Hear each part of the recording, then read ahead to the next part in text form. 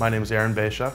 I work for Atlantic Records. I'm the Senior Vice President of A&R. A lot of people think it stands for Artist Relations. It stands for Artists and Repertoire, meaning just that. We deal with artists and we deal with the song catalogs, the repertoire that, uh, of music that we're putting together. A lot of my job is just about getting an understanding of who the artist that I'm working with is, who they want to be, helping facilitate that process, um, put the right producers with the right songwriters, and try to get the best results we can. It takes a long time to have success as an A&R person, even if you're really great at it. You sign an artist, right? They don't come out tomorrow. They come out, you know, the quickest a year later, but that's even a rarity. You know, it's usually two, three years. You work on these projects for a long time. The whole building has to understand the vision. They have to get behind it. We're not signing artists that are ready to be platinum artists the day that they're signed. It's a rare, it's a real rarity to find something like that.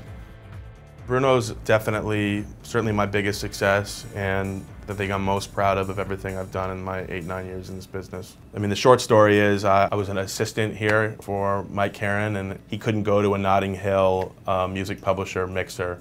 And so I went without telling him.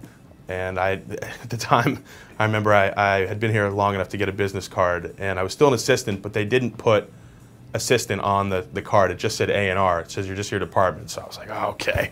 I'll walk up and just show this card. They'll let me in. And sure enough, they did. And there I met a songwriter who had just moved to LA himself named Phil Lawrence. And we hit it off in conversation. And I said, yo, just come by the office. Why don't we sit down and, and let me hear what you have? Phil came in with his manager. You know, they were, they were both so green, as was I, that, you know, and and Phil played me a couple cool things, but enough that I was like, you know what? I bet this guy feels like this guy's got some potential. Let me let me continue to work with him. And a few months after that, he's like, you know, I'm about to work with this guy, Bruno Mars. You should meet him. He just got dropped from Motown. Never even cut a record for them. It was kind of a real quick deal. So Bruno came by the studio, and, this is probably what 2005, maybe. You know, Bruno showed up, just had his guitar with him, and his intention was just to write with Phil for the session that I brought him in for. And uh, Bruno pulled out the guitar, sang one song. I don't remember if it was his own or, or just something that had been out, but I heard that voice and it was a no-brainer for me. And I, I actually brought him into Atlantic the next day and um, chain of command just kind of told me, listen, we don't, we don't really see it. Uh, it's a little bit early and uh, he doesn't seem to have any songs. And all of their points were perfectly valid. We have our, all, our mental checklist when we meet new talent of know, what we need to see and hear to be willing to sign somebody. And, and he really didn't have any of the criteria except that voice. I just didn't give up. And over the course of five years, I always called Phil, and Phil and Bruno became a, a writing team, and I gave them every opportunity I could to have them become better writers and better producers. They were always my go-to, no-name writers for every project that I had because I believed so strongly in them and, and knew what their versatility was. And um, and during those years, I would see Bruno perform uh, as an artist across town, little venues, and and you know I always loved it, and I kept asking myself, what am I? Why do I love this so much and nobody else seems to? And, and then it all clicked. They, we all got a, a hit together with Flo Rida Right Round.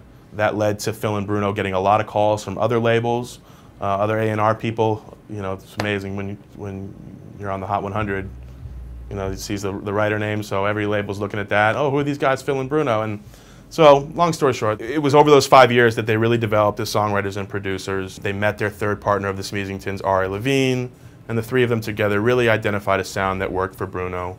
And uh, I booked him for one week of sessions to work on B.O.B.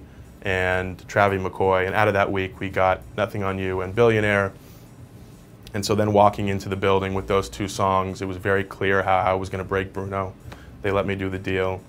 And then it all kind of really took off very fast. So that's one of those things to the outside world, it looks like Bruno was signed and then it was boom. But it was really five years of, of helping them understand who they wanted to be.